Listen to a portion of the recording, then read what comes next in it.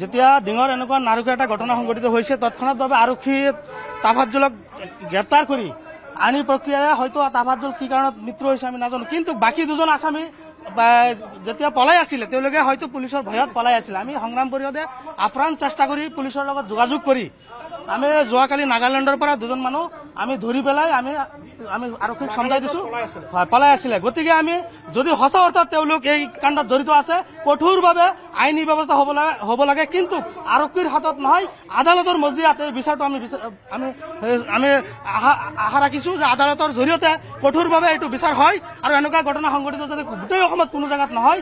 সেইকাৰণে আমি আমি আৰক্ষী বাহনক আমি আহ, আহ্বান জনাইছো। নিৰপেক্ষ তদন্ত হ'ব লাগে সঠিক নিৰপেক্ষ তদন্ত হ'ব লাগে আৰু সঠিক নিৰপেক্ষ তদন্তৰে মূল অভিযুক্ত যিজন আছে আমাৰ এজনী অসমীয়া স্কুলীয়া ছাত্ৰীক দৰ্শন কৰিছে।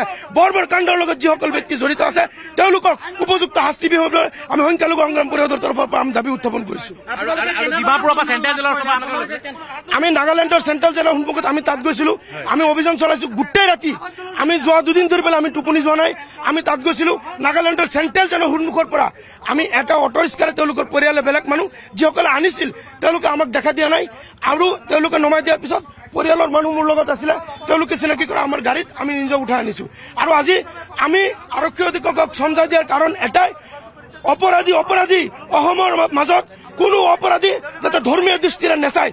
যদি তেওঁলোকৰ কোনো দুখ নাই তেওঁলোকে বাৰে বাৰে কৈছিল যে তেওঁলোকৰ কোনো ধৰণৰ দুখ নাই। গতিকে এতিয়া আইনৰ হাতত দিছো প্ৰশাসনৰ হাতত দিছো তেওঁলোকে বিচাৰ কৰিব। নিৰপেক্ষ সঠিক তদন্ত সংখ্যালঘু সংগ্ৰাম পৰিষদে আমি খুজিছো। দুইজনে নাগালেণ্ডতে আছিল।